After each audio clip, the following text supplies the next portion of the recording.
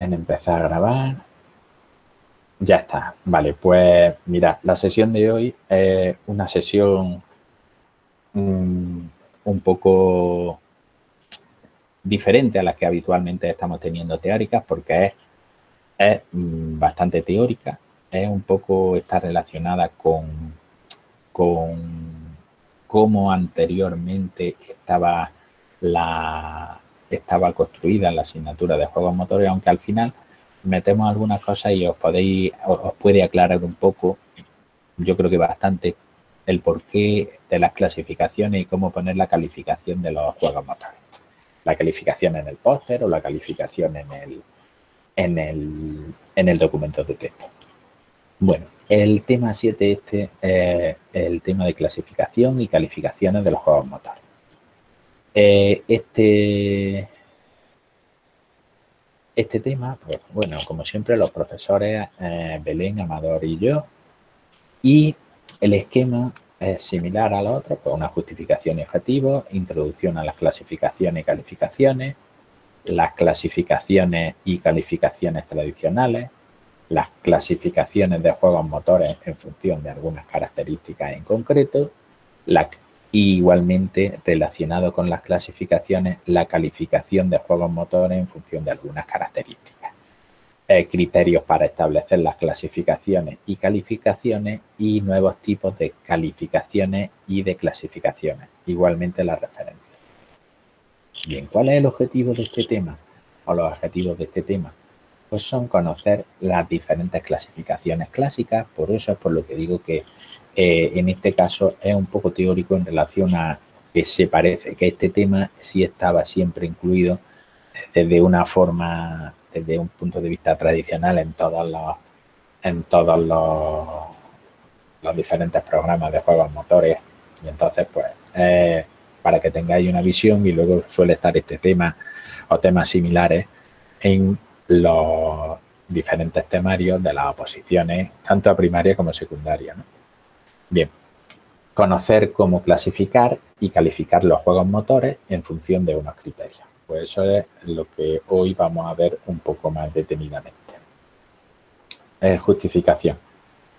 Bueno, tradicionalmente el estudio de las diferentes clasificaciones mm, en función de determinados criterios se realiza con el fin de que nos acerquemos al estudio de los juegos motores desde diferentes puntos de vista y desde las clasificaciones que a nosotros pues, nos puede interesar más en función de cómo afrontamos nuestro, nuestro trabajo.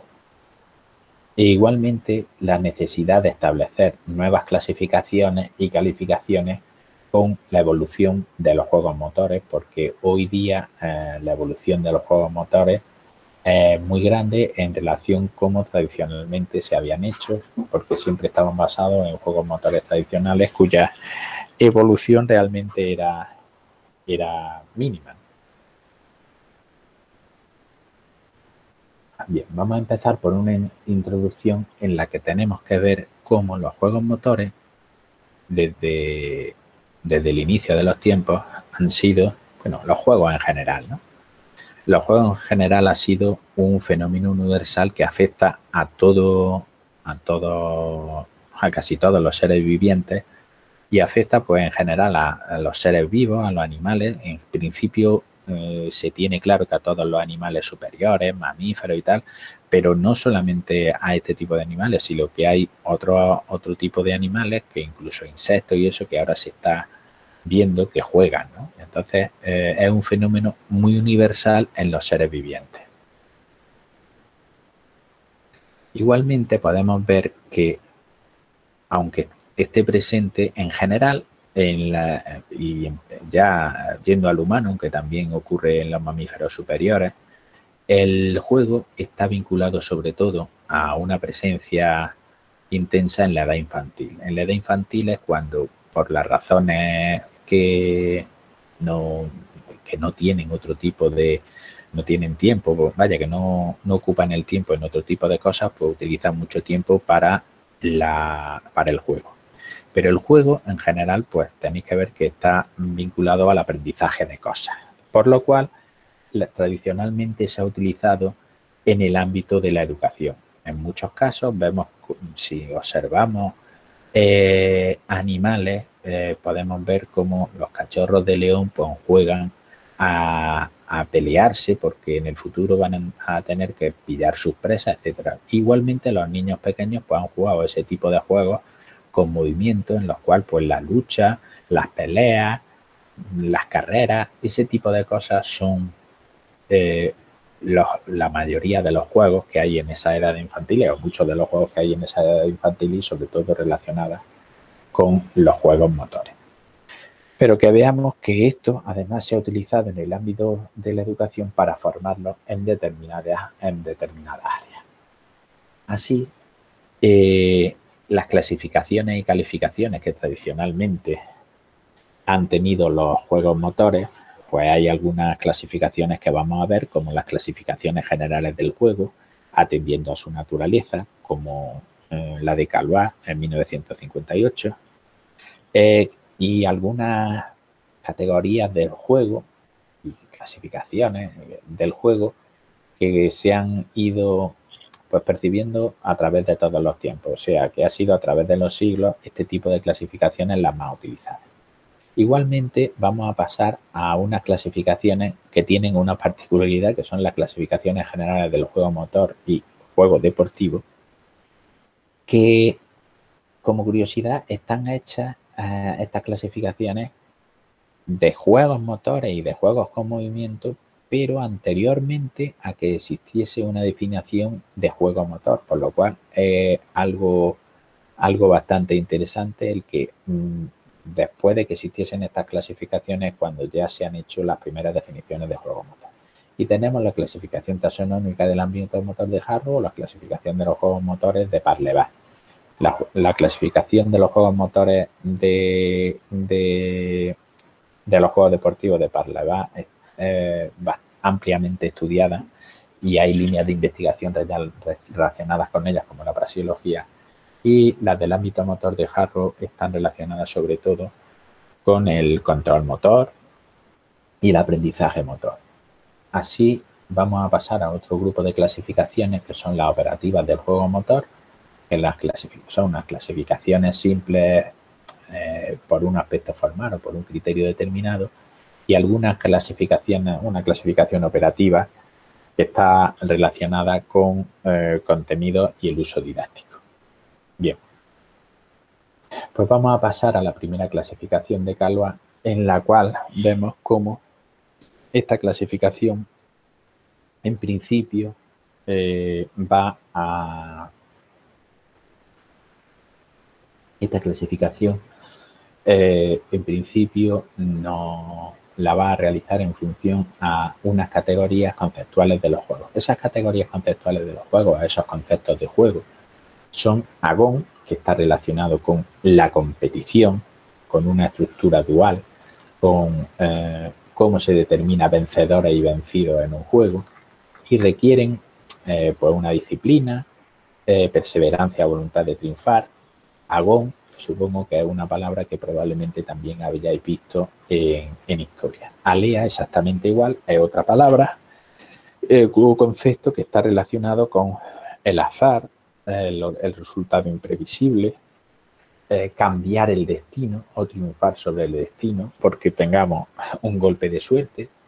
Y el tercer concepto que pongo aquí es healings, que no lo pongo en mayúscula por algo especial, sino es para que se diferencien bien las letras I de la L y de la otra I.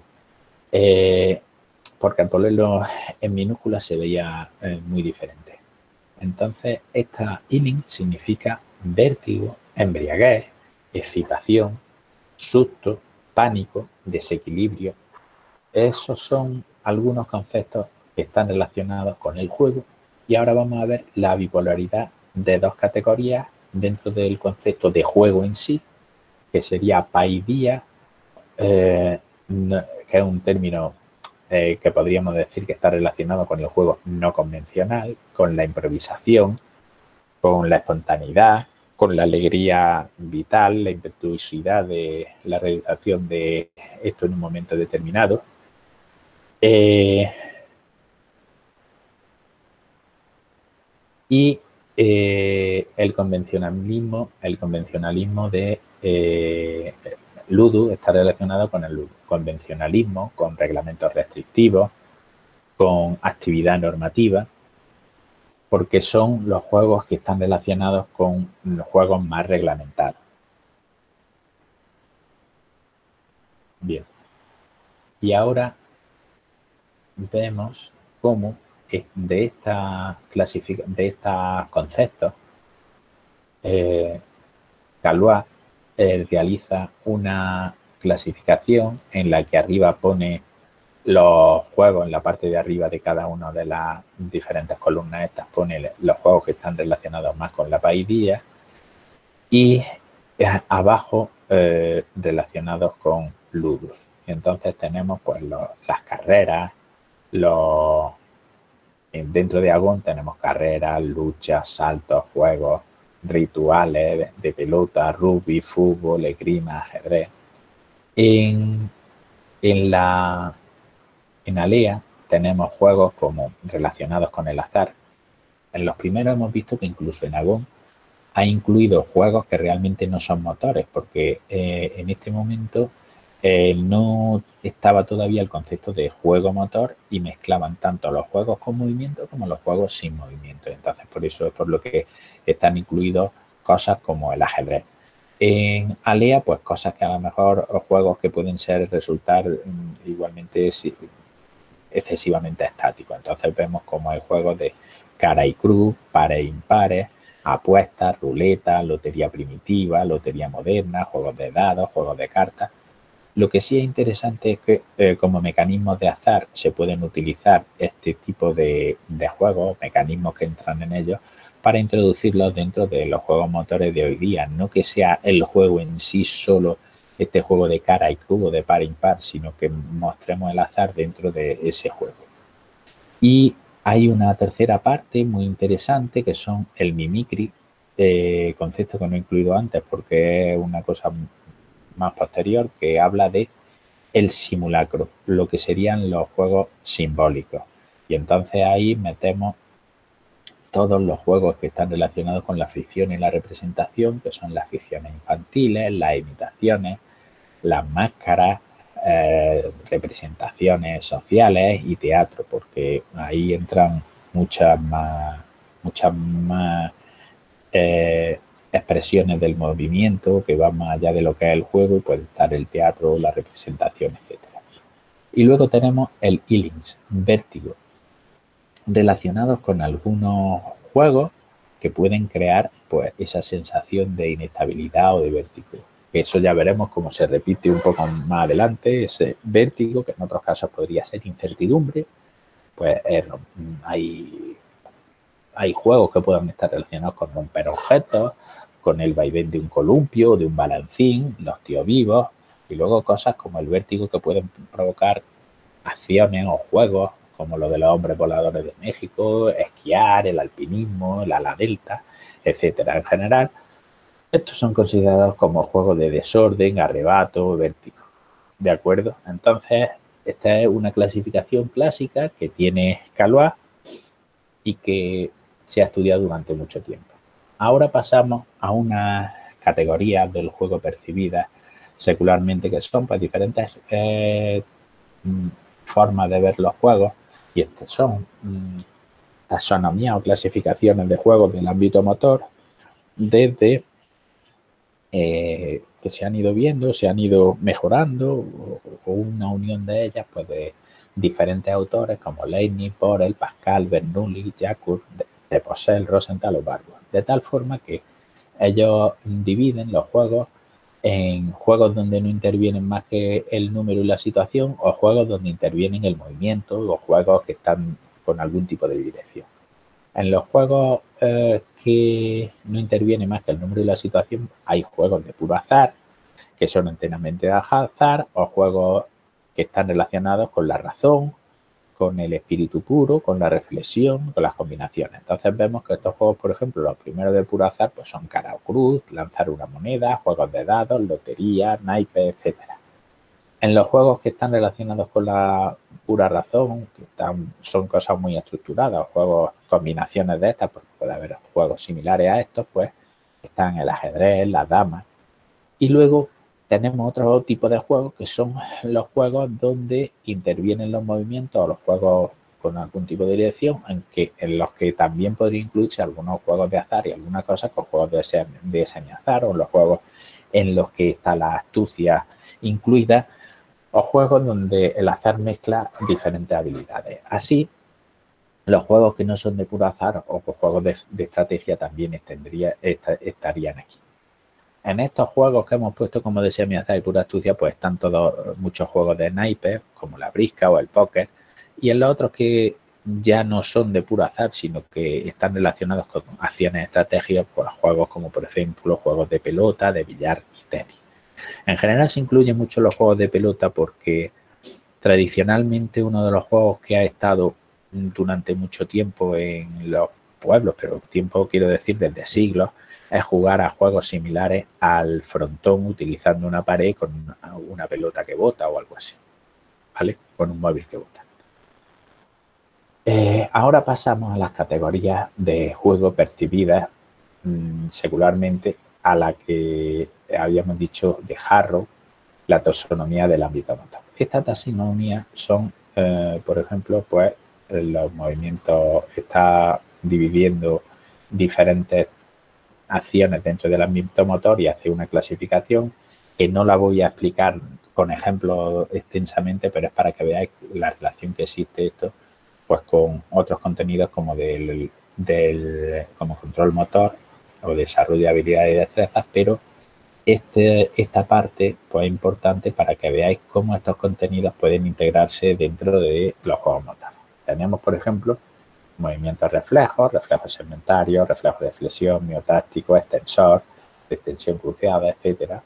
El reflejo entre, entre segmentos, intersegmentos, reflejo cooperativo, competitivo, inducción sucesiva de, reflejos o figuras reflejas de, de, nuestro, de, nuestro, de nuestra imagen y, y los reflejos que, tenemos en ella. Y luego reflejos suprasegmentarios, como puede ser la extensión de rigidez, las reacciones plásticas, reacciones actitudinales, en la cual ahí ya eh, se unen diferentes, diferentes partes del cuerpo. O luego ya pasamos a movimientos básicos fundamentales, como pueden ser los movimientos locomotores y también movimientos eh, no locomotores, movimientos no, manipulativos de, prevención o en los que se desarrolla la destreza eh, con los dedos, y luego la típica clasificación de actitudes físicas con resistencia, dentro de ella la resistencia muscular, la cardiovascular, de fuerza, de flexibilidad, de agilidad. Y dentro de agilidad se incluyen algunas categorías como el cambio de rumbo, inicio y fin de la marcha, eh, los tiempos entre estímulos, destreza realizando este, este tipo de habilidades.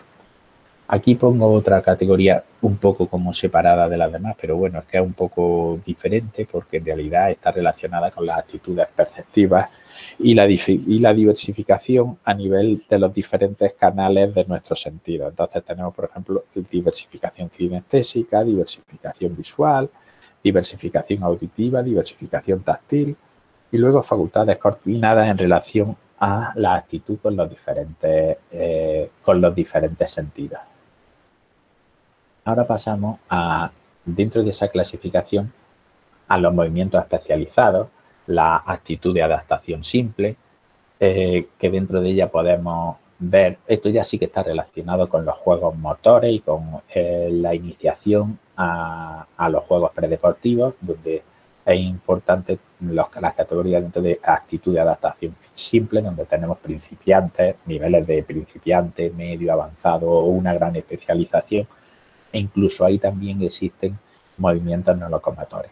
Igualmente esas clasificaciones de principiante, medio avanzado, etcétera, se pueden incluir en la actitud de adaptación compuesta y en la actitud de adaptación compleja. Y luego comunicación no discursiva, que esto está relacionado con la parte de contenido más relacionada con expresión corporal, como puede ser movimientos expresivos, porte, actitud, ademanes, expresión facial, o la relacionada, aunque esté dentro de, de esta expresión corporal, con lo interpretativo, que son los movimientos interpretativos en relación pues, con teatro o artes escénicas, como sería el movimiento estético o movimientos creadores de algún tipo de movimiento. Así, en el siguiente transparencia, ya pasamos a una categoría que es muy importante a través de los tiempos, que es la categoría de eh, Parleva. Parleva en el 1988 realizó una clasificación muy interesante y esa clasificación ha dado pie a una línea de investigación. En esa clasificación utilizaba para clasificar esas diferentes actividades, eh, esa clasificación interrelacionaba tres eh, conceptos. El concepto, los conceptos, los conceptos eran P, A, I. P significa compañero, pero P no han puesto una C porque viene del francés, este profesor es belga, y entonces eh, puso la P de partener o compañero. Era compañero, adversario e incertidumbre. Y en función de eh, si cumplían esos tres conceptos, las diferentes actividades motoras, pues eh, clasificaba estas actividades en función de cuáles de estos tres criterios o categorías la tenían. Entonces, por ejemplo, incluía dentro de las que tenían compañeros, adversarios e incertidumbre, las regatas en equipo, los grandes juegos en la naturaleza, las competiciones ciclistas en ruta por equipos. De igual forma, esos eran los únicos que cumplían las tres. Y ahora pasamos a las clasificaciones en las que eh, introducía solamente dos de esas categorías compañero incertidumbre, donde ponía escalada, espeleología encordada, canoa y vela en equipo, circuito de naturaleza, o adversario incertidumbre, en la que en la que incluía cross, motocross, vela en solitario, carreras de ciclista o rutas en solitario, o las de eh, que tenían compañero y adversario, que eso sí que está relacionado más con los tipos de deportes colectivos que son los más, los más extendidos, como baloncesto, balonmano, voleibol, hockey, deportes de raqueta doble como tenis, pelota vasca, badminton y juegos deportivos tradicionales tipo o juegos deportivos tradicionales que ahí sí que podríamos decir juegos motores tradicionales como pueden ser el balón tiro, el balón torre, policía y ladrones, etcétera habéis visto que en este momento todavía se le dice jugador deportivo cuando en realidad como deporte no existe la policía y ladrones o balón torre, pero se realizan acciones y habilidades muy relacionadas con los que con los otros deportes similares, vaya, con los deportes típicos colectivos de, de, perdón, de baloncesto, balonmano, pues tipo de desplazamiento y otro tipo de cosas así, ¿no? de habilidades compartidas. Y luego están los que solamente hay una categoría que son los que están en incertidumbre, como actividad en la naturaleza en, solitario, esquí, canoa, etcétera, o los que son de solo compañeros, como patinaje artístico por pareja, remo, carrera, relevo, y luego otra en la que están solo adversarios, como los deportes de combate, en los deportes de raqueta y carreras de atletismo en pista, etcétera.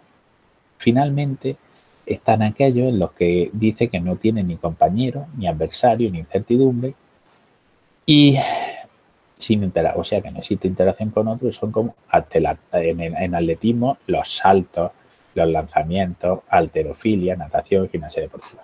Esto visto desde este punto de vista puede parecer, bueno, eh, erróneo. Yo creo que en esta clasificación hay algunas, bueno, en aquel momento pues podía estar más o menos bien cómo utilizaba estos tres criterios, pero creo cuando se está realizando, eh, por ejemplo, en la de compañero con una sola categoría en el patinaje artístico, cuando un compañero lanza, está en el patinaje artístico y la pareja lanza al otro al aire, yo creo que tiene que haber bastante incertidumbre saber si la coge o si se cae al suelo.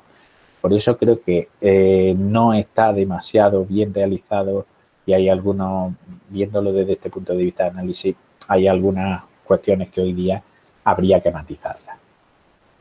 Eh, ahora vamos a pasar a otra clasificación típica que son las de Flower Reader y las de eh, y las de Dobler en el 1981 81 relacionadas con esas clasificaciones operativas del juego motor. Pues Flowboy Reader en el 75 pues, hablan de juegos populares, juegos en el gimnasio, juegos populares en el patio, juegos simples de movimiento, juegos al aire libre.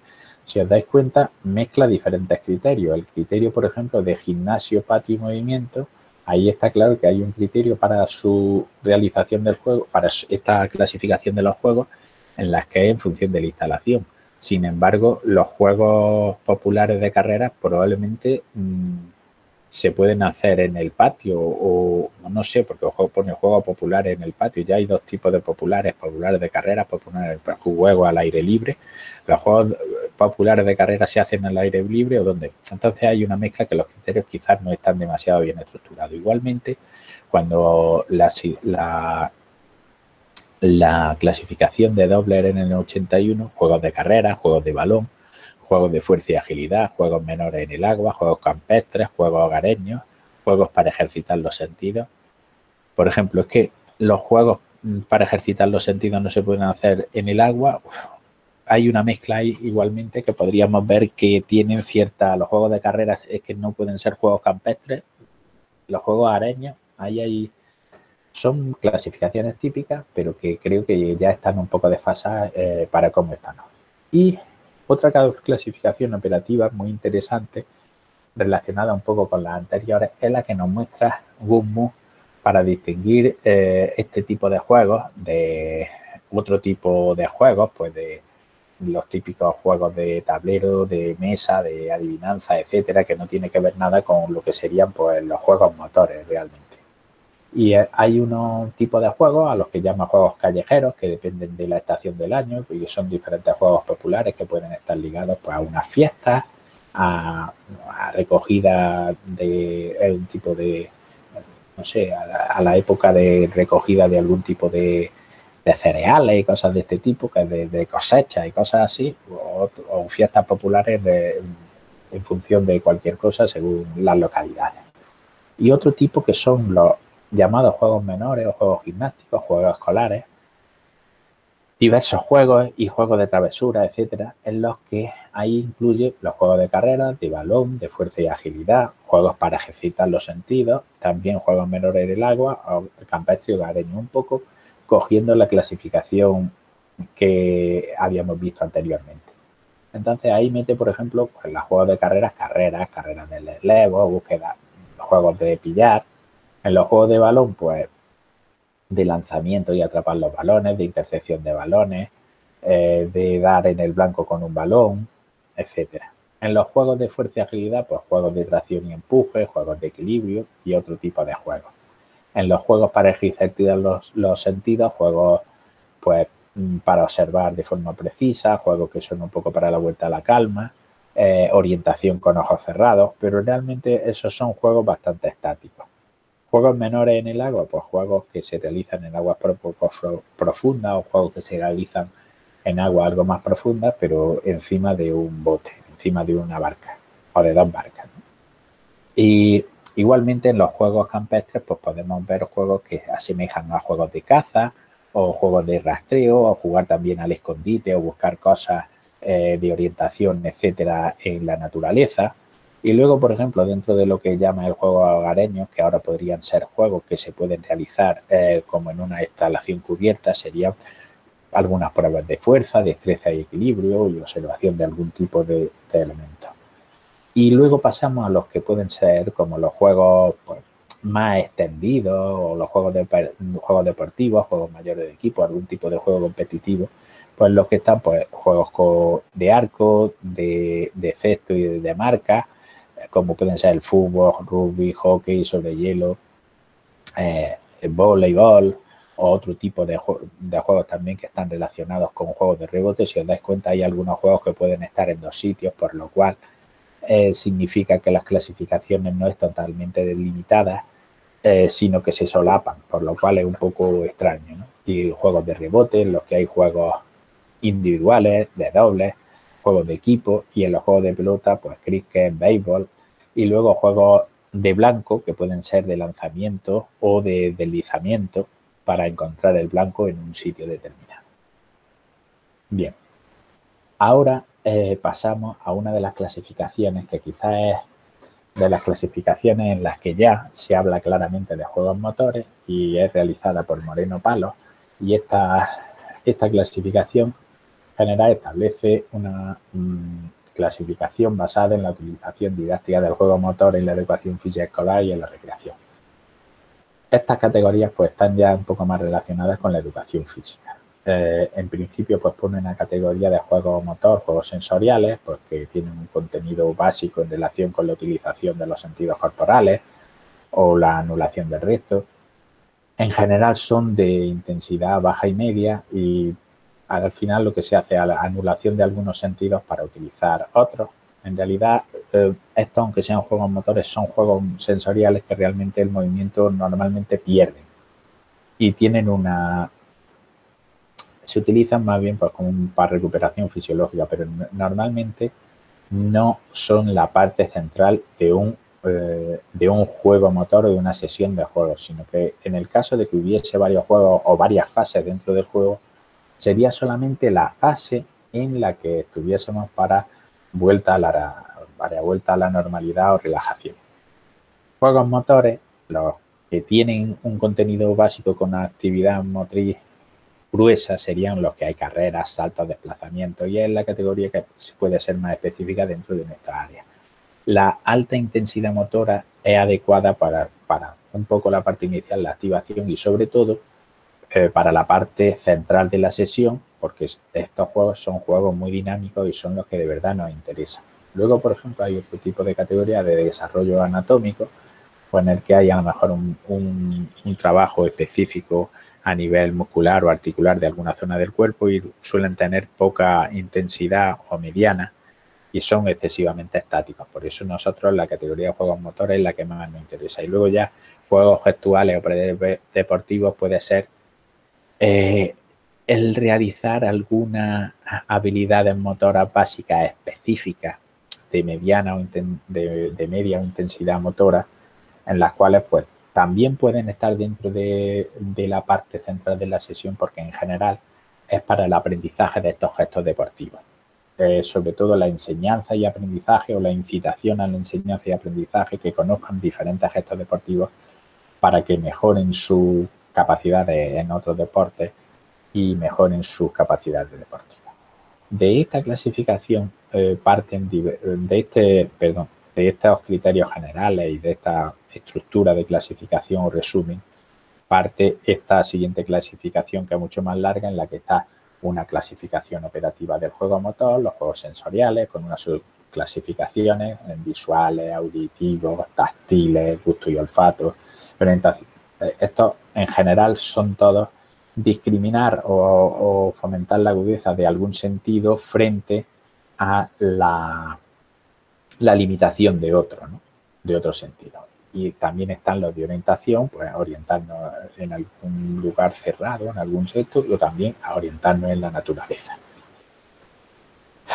De los, mm, esta subclasificación de los juegos motores, pues tenemos los que son de velocidad, de tiempo de reacción-estímulo, también tenemos de locomoción, marcha, carreras, cuadrupedia, trepa, diferentes tipos de saltos según el número de apoyos, la altura, el momento que, donde se salta de, con batida con un pie, con dos pies, los lanzamientos a media distancia, larga distancia, con, precisión, los, eh, los, juegos que están relacionados con el equilibrio, los que están relacionados con, con los ritmos y la coordinación a nivel oculomanual, oculopédica o con una dinámica general.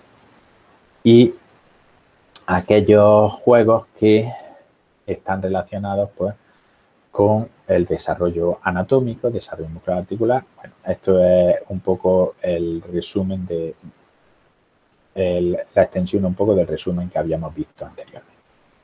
Y pasamos a la parte un poco más interesante que es cómo existen clasificaciones de juegos motores en función de algunos criterios y cómo las podemos utilizar nosotros.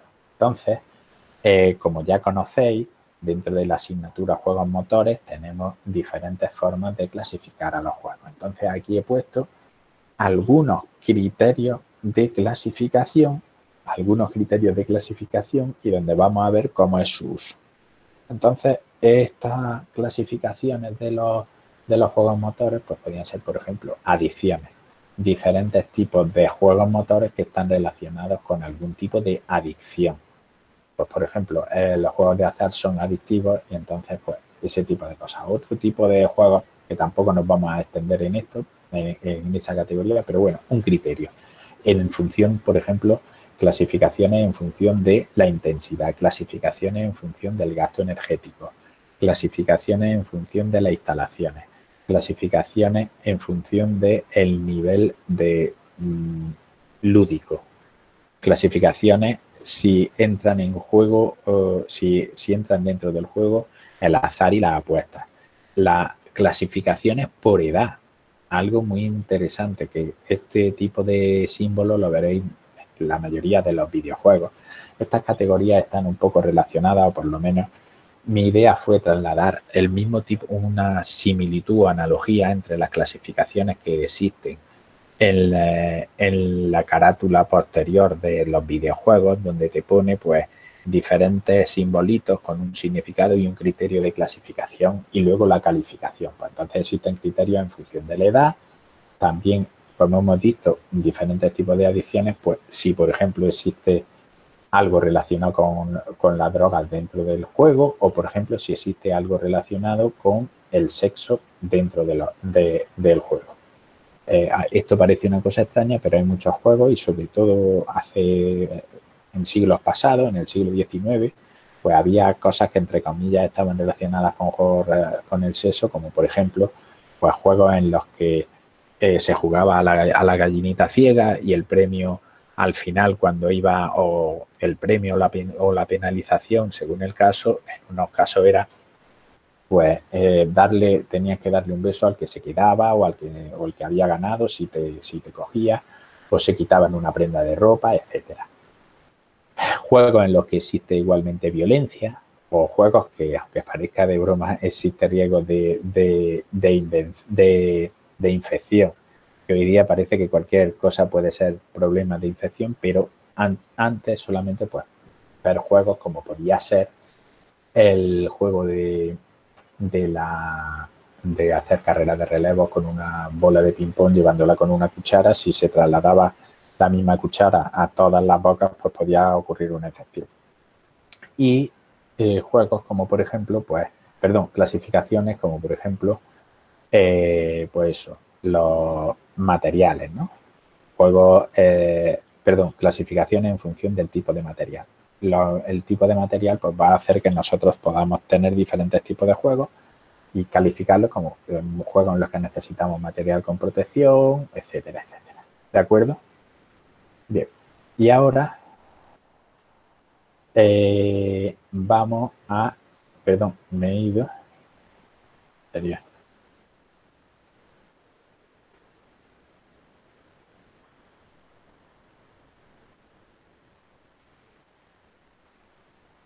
Bien, eh, aquí por ejemplo tenemos unas clasificaciones, mm, unas calificaciones.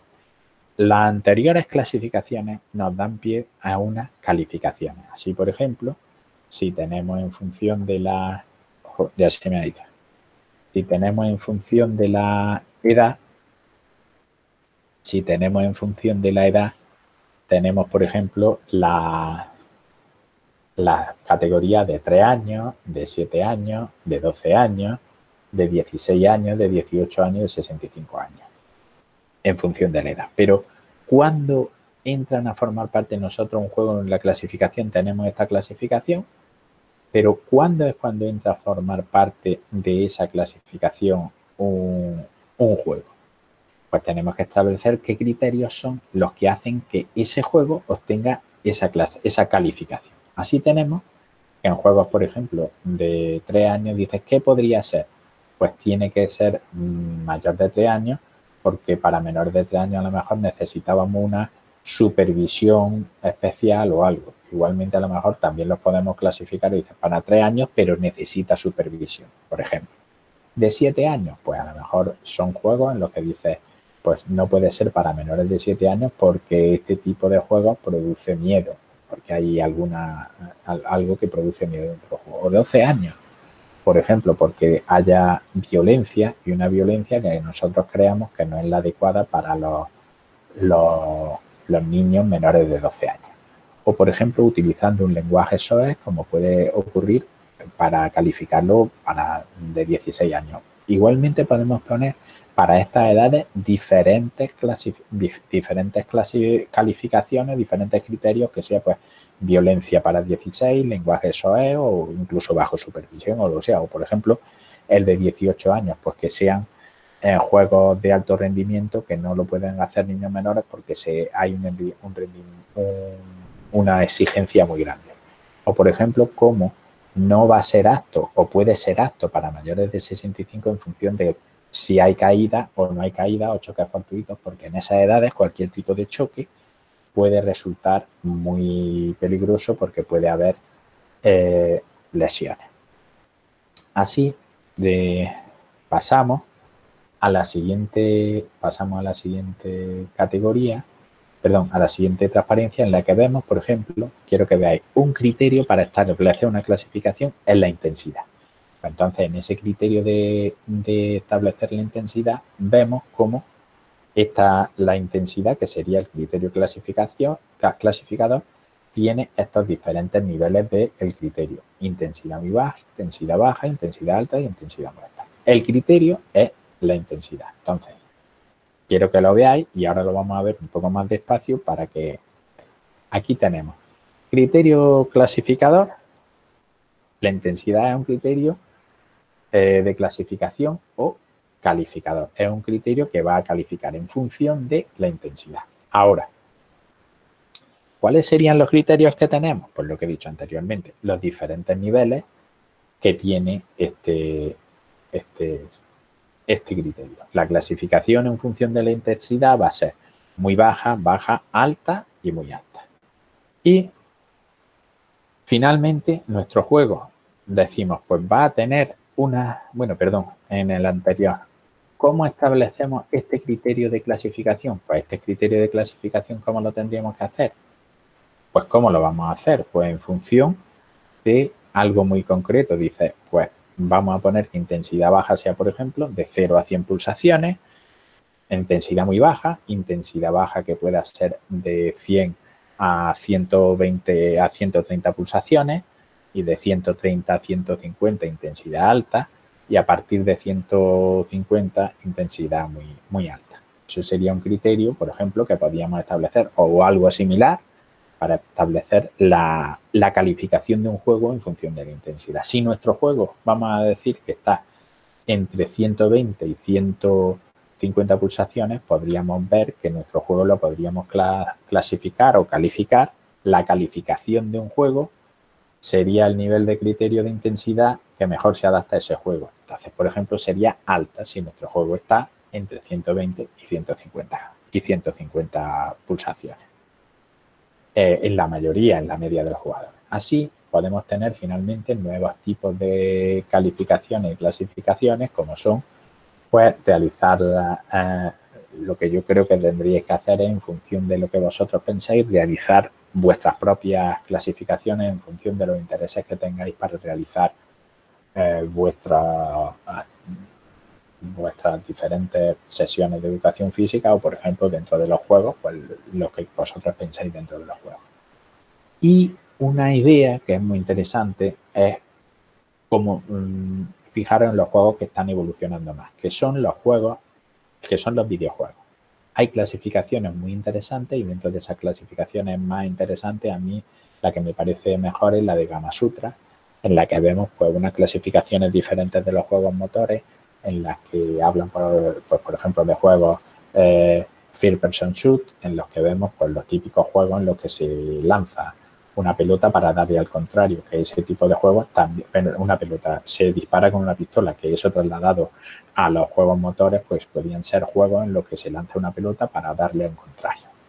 Así, con esto finalizamos, en donde tenemos aquí diferentes referencias utilizadas para este juego, perdón, este juego, para este para esta sesión de clasificación de los juegos motores.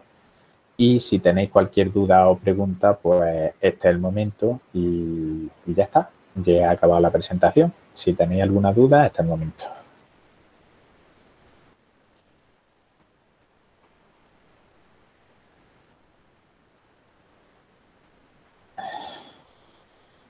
Bien, ¿hay alguien ahí? No, no Andrea, yo, yo, tengo, yo tengo una duda, pero del juego motor tradicional mejorado. Que, por ejemplo, si Eh, pusiste... Espera un momento. Soy. Es, eh, espera, espera un momento. Pues vale, si no tenéis ya ninguna duda sobre esto, pues lo, lo acabamos y, y ya está. Era un poco, era un poco eso. Dime, dime. Dime, que que no te estoy que tenía que, que tenía que tener mínimo cinco gráficos, pero por ejemplo, si mi juego me lo corregiste, me pusiste que estaba bien con tres gráficos, solo que tenía que mejorar la simbología de movimiento, no tengo por qué añadirle más gráficos, ¿no? Hombre, yo lo que te digo es que si ahora tenemos la posibilidad de ponerlo, o sea, de ponerlo en, en 90 por 120, si le añades dos gráficos, no creo que se vaya a estropear el trabajo. ¿eh? Eh, pero es que lo juego tampoco, que tampoco tiene mucho más, que puse la disposición inicial y lo que pasa que tampoco puedo sacarle mucho más para ponerle ¿Cómo se llama tu juego? ¿Cómo se llama tu juego? Eh, Cabaiba. Caballo. Vale, bueno, pues ya está, pues déjalo así, pero yo siempre te animaría a que le pusieras más, más gráficos. E intentara Vale, eh, siempre hacer muchos gráficos. Pues ya Vale. está. Eh, pues si no hay más preguntas, ¿hay alguna pregunta más? Sobre todo referente al tema. Eh, yo sobre el juego también tradicional, Venga, dime. que yo lo hice en función de las correcciones de la rúbrica.